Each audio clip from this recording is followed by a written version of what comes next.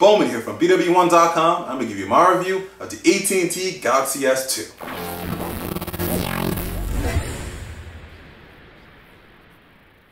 AT&T Galaxy S2 holds closest to the original design of the international version of Samsung Galaxy S2 with the 4.3 inch Super AMOLED Plus display, 2 megapixel front facing camera. There's also LED notifications here on the side. On the bottom, instead of having the physical button that the international version has, instead has um, touch sensitive buttons here at the bottom from menu, home, back, and search. Here on the side, you have your volume button. This side, you have the power. On the bottom, you have your micro USB port. At the top here, you have a 3.5 millimeter headphone jack. On the back, you do have an 8 megapixel camera with LED flash. You can check out the video that we uploaded with using the camera. We actually did it in a bit of a different environment. We decided to do it when it was a little rainy and gloomy outside to see how it worked. And it worked pretty decently. Um, all the Galaxy S2s pretty much have the same type of camera which is 8 megapixels flash and um, 1080p video capture. So you can also check out the Epic 4G Touch um, camera test as well too to see how it kind of works during the day and stuff like that. All right, you have this nice little sort of battery bay door back here to sort of kind of mesh um, finish here. And we'll open this up here and reveal the SIM card. Your micro SD card slot, isn't anything in the micro SD card slot, but it does have 16 gigabytes of inbuilt storage, built-in storage rather, and you have a 1650 milliamp hour battery. All right, snap this piece back on does have a 1.2 gigahertz Samsung Exynos process, processor. That's a dual core processor from Samsung. You also have Bluetooth, Wi-Fi, GPS, and this does support HSPA plus 4G speed for AT&T. So we'll go ahead and turn this on here. It is running Android 2.3 Gingerbread on it. And it, this does have a security flaw that we saw earlier. As you can see, there was a lock pattern on there. All I had to do is wait for it to shut off and then turn it back on again and then the lock pattern is no longer there. Hopefully they're going to be sending out a patch to update that. We'll go ahead and head home here and it's running TouchWiz on top of it here. It's a lot of stuff that we've seen similar before in the Epic 4G Touch. Um, one thing that's cool here is that you can actually swipe all the way through. On the Samsung, on the Sprint one rather, you couldn't just keep going like this. It would stop at one end or the other between the desktops here. You can also go through your desktops like this as well too. See there, all fancy stuff. That's nice little cool animations. All right, we're gonna head back here. We're gonna open up the Task Manager application. You can see here where you can end your task, and if you just don't want to run the video maker anymore, you just hit like that, and it exits out of it. You want to close out the market easily enough. You can hit exit all, and it'll close out all the applications. You can also check out what you what you have downloaded and you can't uninstall the pre-installed applications from AT&T, so you don't want the Family Maps Live TV or the code scanner. You just hit uninstall, brings you through the uninstall process. Just as simple as that, and it's right off the phone. And it's off. It's pretty much for all the um, pre-installed software here. Check out the RAM. You have 837 megabytes of RAM for applications. 305 is available right now, but you can also hit clear memory and it'll clear out whatever is in the background and you, and you pretty much start off with 254 megabytes to that's our that's being used currently with the phone. Storage you get to see here how the 16 gigabytes is pretty much split up. You have um, system storage which pretty much is where your applications will install. You have uh, about 1.97 gigabytes available for that. For USB storage, SD card storage, pretty much where the rest of it's being split up as far as inbuilt storage is 11.36 gigabytes. And then right here for SD card storage, when you plug in an SD card, you'll see that pop up there.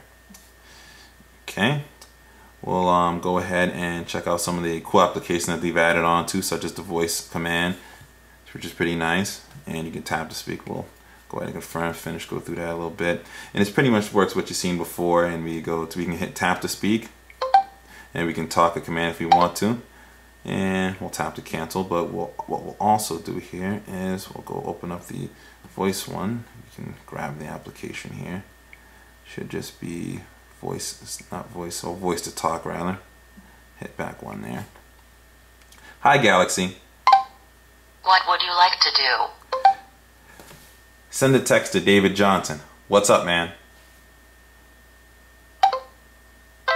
Send text message. To David Johnson, Jr. Message what's up man? Say send. Cancel. Or speak your message again. Cancel. Okay, cancelled. You can see there, all you need to say is hi Galaxy, you can do in driving mode, navigate, have it play a memo, have it play some music, all that type of stuff there. Really nice and really useful feature there. Alright, other things that we have here. We also have a photo editor available too. It's pretty cool. You can select a picture and um, we'll just do one of the pictures that we did, the screen capture that I took here. See, we can edit that if we want to. We'll rotate it here to the side. And you can edit that as you want. If you want to um, crop it, you can. Choose where you where you want to crop it to. So you get there, there, and hit done if you want to crop. That point, you can add little special effects, radical blur if you want to. Show directions. You kind of get the idea there. It's a pretty nice little photo editor to add, to add some special effects to the pictures that you take. Okay, and that was a screenshot that I took with that. And to do that, I showed you showed you before. It's pretty much the same in all the Galaxy phones. Is you hold the home and power at the same time and let it go at the same time. There you go. And it takes the picture there. I hit the volume button by accident, but kind of get the idea there. And uh, next thing we'll show you here is the video editor. Pretty cool. Head on over to that. If I can find it here. Video maker rather. You can see the video maker here. We create a new video and you can use it on some different templates if you want to. If you want to base it off of a movie, we can do that. We can apply the movie effect. And we can add some clips here. So we just drag and drop um, some video files here. You can also add some pictures as well too. So if you want to add some pictures here to the timeline, just add it just like that. Anywhere you want to put it. This music, you want to add, you can add music as well too you can take new pictures, new pictures and new video and instantly import it into here. And then when you hit, when you're done with it, you just hit done, hit play. Adds a little bit of sound, little effect, adds the transitions automatically. Pretty nice there to be able to just do that right, right then and there. And now you can choose, you can choose trim, split, add transitions and stuff like that with it.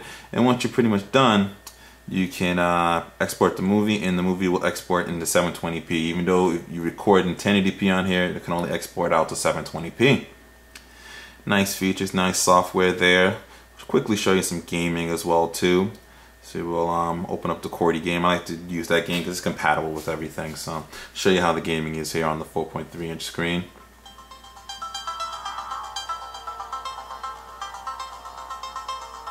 So loading up there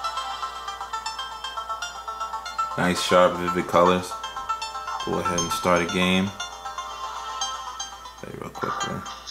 Play the first level. You can see it's loading up pretty fast too. The 1.2 GHz Samsung Exynos processor. It's really nice. Alright.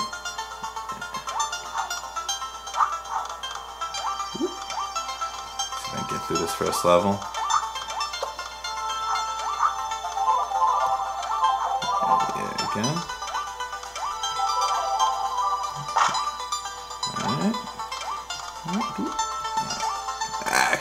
There, but you kind of get the idea on how gaming kind of works on it. You can see how good the graphics look, sounds good, and it plays relatively smooth there, as you can see.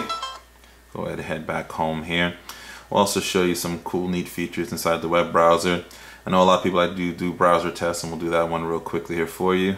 We will, um, I'll show you how this works to tilt in just a second. We'll head over to uh, BoardItWorks website. Give him a little bit of a shout out. You can see here the different options of the keyboard as well too. I put it work there. That's the standard keyboard there. There's another keyboard that we can I'll show you in just a moment. This up here. Head over to his page as it loads up. Pretty cool there. And meanwhile, while it's loading up, I'll just show you the other the other keyboards. You have that one there. You can also see, yeah, edit text may have to go through settings. No, go back here. Alright. Input method there. You have the Android keyboard available too. And you also have Swype as well available there too back there and you can swipe along if you want to. So I guess that's what fun guy there. But you get the idea. One of the cool things about the, the browser is, is, is not only does it have really good pinch and zoom and renders pages pretty fast, pretty well, for the standard Android browser and it does support flash as well too so you can do a couple of cool zoom tricks so rotate it here to the side and if you hold two fingers down you can see right there you can zoom in and out that way pretty cool there you can also do that in pictures too a little, little fancy feature people like to see and also has some cool animations with the windows so you want to add a new window you can add another one we'll add another new window if we want to and you could kind of go between the windows like that. Nice, nice little added touches here from the standard Android uh, browser. Go back here, kind of get the idea there. All right, quickly show you some video as well too. Open up the YouTube application, show you some streaming videos, which most people are going to be watching stuff on YouTube. See if we can just grab a random video here. And we'll use William Johnson's Broken Good. Give you an idea. Hey, what's up, guys? Put, put it to high quality. Turn out the volume just a bit here. But you get the idea, sort of the video quality here on the Galaxy S2 with definitely with the uh, Super AMOLED Plus display. Pretty nice there. I'll skip that a little bit and see. Another cool thing with um, Android here and extend the TouchWiz UI, you can rearrange your icons of widgets as you want to. If you hold the icon there, you can actually use the gyroscope to kind of slide down this the center here. Slide down there. You can add it there if you want to, and you can move it accordingly as you want to. Just simply drop it there just like that. Can also resize widgets as well too. Show you how to do that. Hide a widget, drop it down in the same position. See the little yellow boxes come around it, and you can resize it to small or as long as you want it to be. Tap on the screen again and there's your resize widget. You can also add widgets, just hold desktop, hit widgets, and you can add different ones here if you want to. Plenty of different widgets to choose from. Let's say you want to add mini wall, mini paper. We'll add that to there. We can also resize that too. Drop it there. We can push all the way out to there if we want to. And you're done right there. Pretty cool way to add widgets and you can remove it just as simply as that. So you can add, edit, and resize the widgets as you want to. Another thing we'll check out here is email. If you're not using the uh, standard email application, Gmail or anything like that, you can use this email client and just pretty much a standard view. But if you rotate it here into landscape mode, you get sort of this nice little Outlook view. It's pretty cool for email. And you get full HTML uh, email right here on the on the side where the email is viewed, and you can just kind of scroll up and down between your emails. It gives you that nice little Outlook view, like I said before. Pretty nice feature there. Samsung also has included its Media Hub applications. You have the Social Hub and you have the Media Hub as well too. Social Hub is pretty cool. Adds all your feeds and messages all into one little section here. You can kind of scroll through, you can thumbs up, retweet, do all the same functionality that you would see in the standalone applications, but now you can just go to one place for it. Head on back here, show you the Media Hub, which we might have to update. Yeah, it's gonna ask to update the Media. All right, now I have the Media Hub updated. New little icon there. We'll open that up. Actually, open it up twice there. Open it up there, and you can see you have movies, TV shows, and stuff that you can either own, rent, you can watch a preview of as well too. And you can download it right here to device, or you can download to other different Media Hub, uh, Media Hub um, app, Media Hub approved devices as well too from Samsung. And a pretty cool thing is you can watch it on here. You can also watch on your TV if you do purchase the optional HDMI cable. You can plug it right in there and watch on your TV in full HD too. Pretty cool. Kind of get the idea there. And that's pretty much it in terms of software for the Galaxy S2 here for AT&T. The uh, battery life, which I'll show you here, is it's okay. It runs at about uh, 11 hours or so. A battery life that I experienced with it between 11 to 12 hours. Not as long as the Epic 4G Touch, but it does have a bit of a bigger battery. But um, you, you, if you're a power user, you're pretty much going to get through the day on a single charge pretty well. Moderate user, you probably be able to go to about a day and a half. Another thing I want to show you to try to extend that battery a little bit longer, you can use the power saving mode here. When you activate that, you can have it turn on at different percentages uh, where your battery's at and it'll turn off different functionality, different radios, handle brightness and screen timeouts and stuff like that. I think that's a really nice user feature to push the battery a little bit further. Another thing I seem to forgot to show you here is you can see the notifications. Pretty much what we've seen in all Galaxy S uh, devices, on TouchWiz devices, you have your quick access icons right up there, and then you have your notifications right here that you can individually go through. But um, that's pretty much it there for the Samsung Galaxy S2 as far as software and hardware is concerned. So let me give you my final thoughts on it. To simply put it, the Galaxy S2 on AT&T is the best Android phone on their network with good battery life, great screen, great overall design, it's sleek, very well polished software, overall just a great experience with it. If you're on AT&T's network and you're looking to get an Android phone or you're looking to, to, to get an alternative to the iPhone or something like that, definitely the AT&T Galaxy S2 is the best phone on AT&T's network for Android and the best alternative to an iPhone if you don't want an iOS device. So this is Bowman here from BWOne.com reminding you, subscribe to our YouTube page, follow us on Twitter, become a fan of our Facebook fan page, also check out our written review. The link to that and all social media is in the description. And always remember to live your tech world in high definition.